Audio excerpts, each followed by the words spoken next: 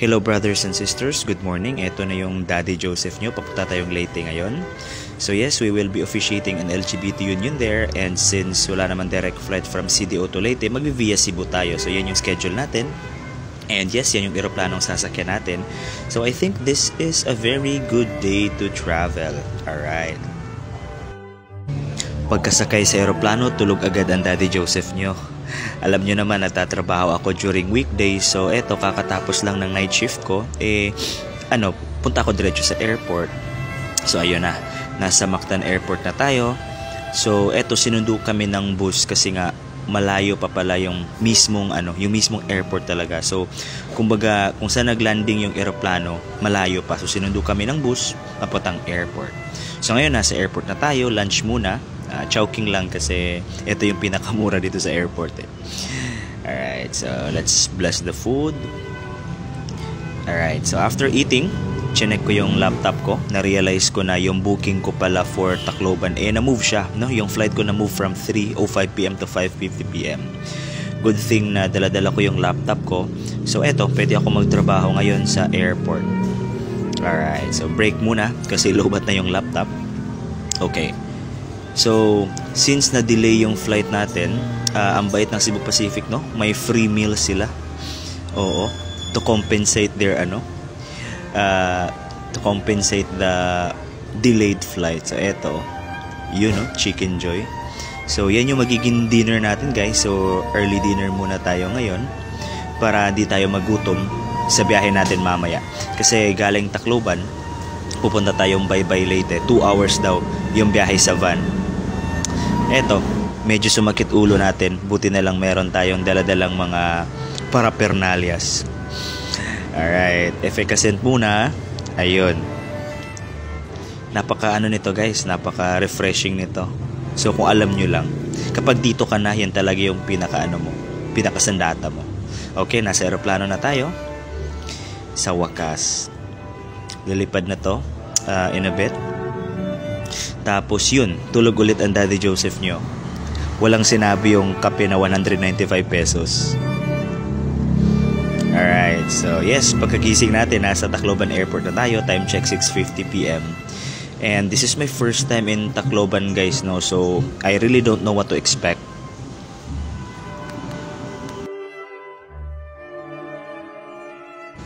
Pero na-prove ko din no, um, na dito sa Pilipinas, isa lang talaga yung eksena na hindi mo maiiwasan sa airport. Yun yung mga opportunistang mga driver.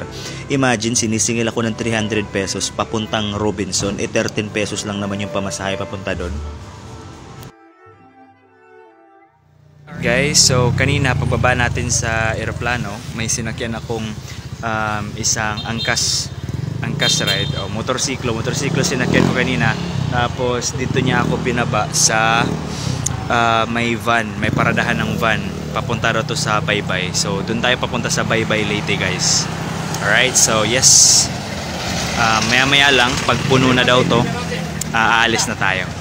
Alright time check is 7.02pm alright so we waited for almost an hour para, uh, para mapuno yung van. Tapos nang napuno na yun na, umalis na kami papuntang Baybay Leyte.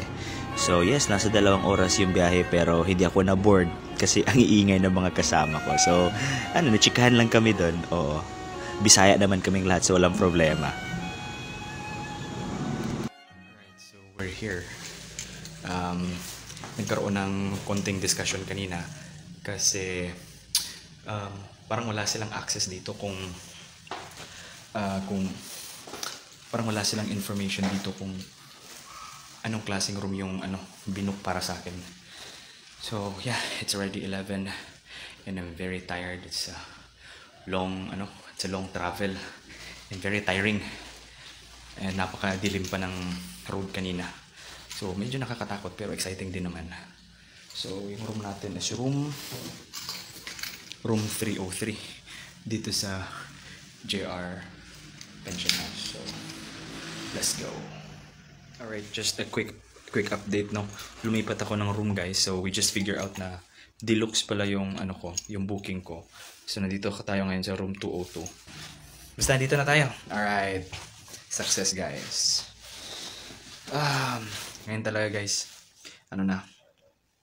lutang na lutang na ako. Um, magto 24 hours na akong walang tulog. Kasi ever since kagabi pa after my shift, diretso ako agad uh, preparing for my flight. So, grabe. Um, wala na. Tuyong-tuyo na yung utak ko. Good night, guys. Alright, hi guys, good morning. So, kakagising lang natin, ano. Um, so far, ayos naman yung tulog ko. Wala namang nagmumulto.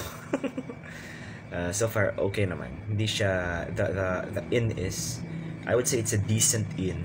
Hindi naman talaga siya ganun talaga ka, alam mo yun, ka, ka high, high class or um, hindi siya ganun ka top notch na inn.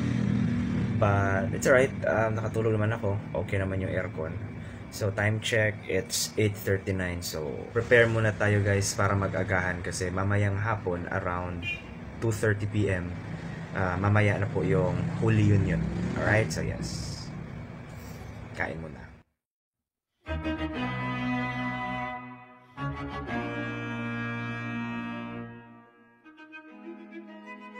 Alright, so yes guys, we are now ready. So nakasuot na tayo ng uh, clerical collar. Um, yes, ready na tayo. So susunduin daw ako ngayon ng uh, kapitbahay nung couple. So um, we will be going to Corals Beach Resort kasi doon gaganapin ang Holy Union. Alright, so yes. Um, see you later. So eto nga, sinundo na tayo ng kapitbahay nung couple natin. And yes, time check, it's 2.30pm. So papunta na tayo sa Corals Beach Resort. Okay, so eto guys, no? Um, napaka ganda nung venue natin. Hindi siya masyadong malaki but it's a decent place to conduct a wedding, no? A beach wedding. Napakaganda dito guys, promise. Um, ito maganda yung decor. Tapos the photographers are very professional. So kahit probinsya to no, pero ano siya, talagang ano, um, masasabi mong napakaganda at napakasulit. So eto na, ito na yung Holy Union proper natin. That's our couple and as usual, ipa-private natin yung couple natin kasi this is their private moment eh. So yun. So dear brothers and sisters, ano, um, tapos na yung Holy Union and as requested by the couple, uh, gusto nila private lang yung ano no, yung mga litrato nila. So hindi ko na lang kinunan yung ano, yung yung mga couples. Um, alam niyo masakit kasi masakit yung mga ganito eh kasi 'di ba dapat sana um, yung yung kaligayahan niyo as a couple nung kinasal kayo 'di ba gusto niyo yung gusto niyo yung i, ipakita sa buong mundo. But the sad reality is that hindi lahat nakakaintindi nito. Kaya you know as much as they would want everyone to know uh, their happiness eh, hindi natin pwede i-publicly show yun.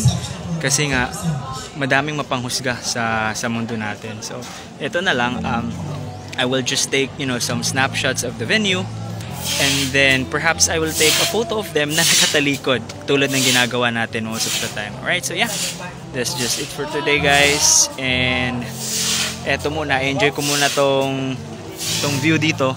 Tapos kakain na. So yun nga eh. Pagkatapos daw ng misa la mesa. Bye. See you later Before the Holy Union, nakausap ko yung couple and I realized na ang dami pala nilang pinagdaanan ng sa ganon mapagtibay nila ang kanilang relasyon.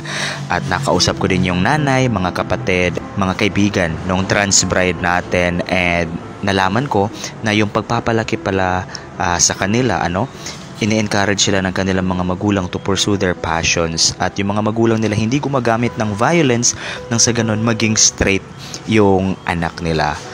And natuwa din naman ako kasi yung homily ko, I was able to deliver it properly at maraming natutunan yung mga tao doon ng mga bagong bagay patungkol sa scriptures, sa God, at um, about na rin sa pag-ibig ng Diyos para sa lahat.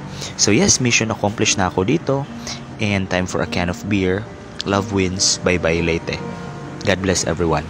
Namaste.